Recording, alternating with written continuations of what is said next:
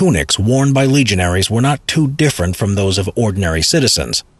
It was the belt, balteus, and the sandal, boots, caligae, that made the legionnaires' appearance distinctive. Belts were made either as a single waist type or as a two-crossed belt, with silver or bronze embossed plate decorations and an attached apron made in the same fashion. They were used for carrying a dagger and a sword.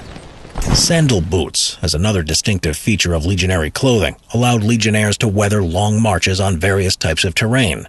These heavy-duty sandals' outsoles were made of one piece of cowhide or oxhide. They were attached to thick leather soles with hobnails. The sound of these hobnails announced the arrival of legionaries.